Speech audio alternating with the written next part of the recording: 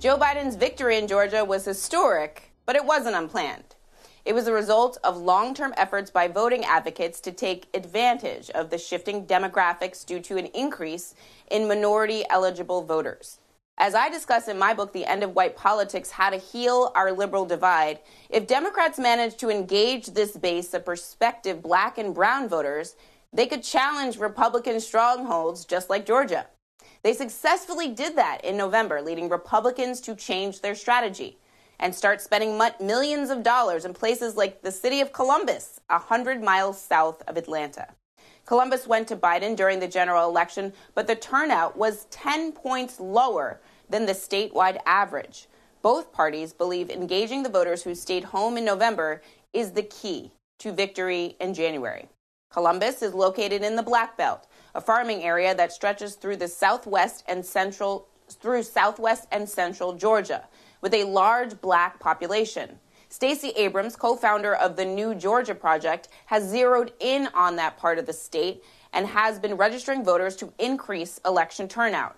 The group's CEO, Nsé Ufot, calls the Black Belt Georgia's new battleground, and she joins me now to discuss and say expand on what you mean by that. Why is the focus on shifting from Atlanta uh, to surrounding counties uh, and the, including the Black Belt, as you call it? Well, and well, first of all, hi, hi Zerlina. Uh, in order to win a statewide election, you have to contest uh, for votes across the state. Uh, and the truth of the matter is that while the metro Atlanta area represents half of the state's population, half of the state's electorate, it only represents half of the state's electorate. So, in order to win statewide, in order to contest uh, for statewide elections, you have to go outside of metro Atlanta. So, that includes Columbus, that includes Macon, that includes Valdosta and Savannah, and yes, what is known as Georgia's rural black belt. Um, and what we have seen is that there not only has been a lack of investment, but people are just not talking, not seeking those votes, not asking for those votes, one. And then two, a long and rampant history of voter suppression that those two things are were constantly at play. They have marked the results that we've seen in the past, uh, and so addressing them can change uh, what is possible with elections in the future. In terms of how you engage those voters that are not in a city like Atlanta, is there a different strategy? Are you talking about different issues? Are those conversations with those voters different than the ones you would have with black voters who live in Atlanta, for example? Not really, because the way that we train our organizers, the way that we train our canvassers and our volunteers is that you have twice as many ears as you do mouths. And so we go into all of our direct voter contact uh, listening right? Ad- adopting a sort of humble posture and talking about, you know, the act of voting and connecting the act of voting to the change that Georgians want to see.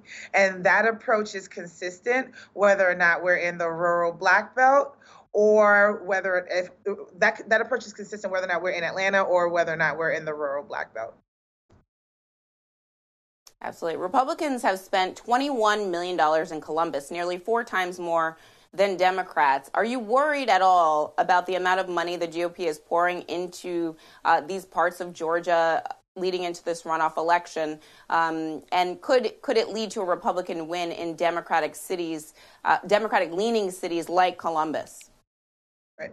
Uh, I'll say this I'm not particularly worried, but it is excessive. Um, but we've never been able to compete on a dollar for dollar basis, uh, quite frankly, with conservative Republicans or with the enemies of progress. That it's been the, our people power that has always been able to push through, again, having high quality conversations about things that matter, our sort of relational organizing approach. Like that, that is how we've been able to achieve progressive victories. And in, under incredibly oppressive conditions. And yeah, we've never had the amount of money. We um, have prepared for this, quite frankly. Uh, this will be the most expensive Senate races in the history of American politics. Um, and so we've known that before a single dollar was spent in the runoff. Wow. Wow. And say Georgia's Secretary of State Brad Raffensperger has lost, launched investigations into several groups. Obviously, as you know, he's been under attack uh, from the president, uh, and and you're included in in this the New Georgia Project for allegedly seeking to register ineligible voters. I mean, it's the same. It's the same playbook every time. What's your response to that investigation, and do you think it will hurt your efforts at all um, in your goal to boost the turnout? Uh, our name is the New Georgia Project. It is our aim to expand Georgia's electorate and to register young people and people of color.